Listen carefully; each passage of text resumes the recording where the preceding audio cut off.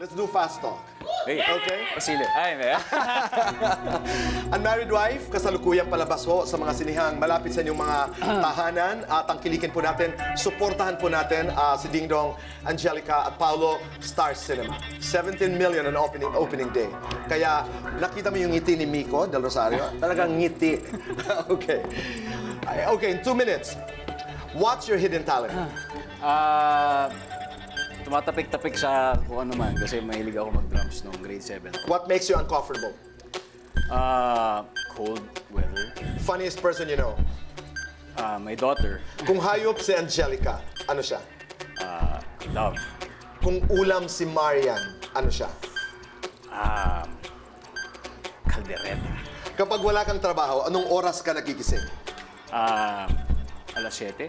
Bagay na tamad na tamad kang gawin. Maligo sa gabi.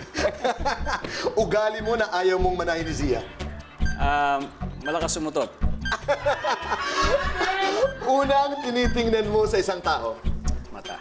Kapamilya actor na hinahangaan mo. Ah, si Enrique Hill. Gagawa kayo ni Angelica ng fourth movie. Give it a title. Ah, sasamahan kita sa Sagada ulit kapag kukuha ka ng bago mong panghugot. Biggest insecurity. Ah, mabaho kong paa.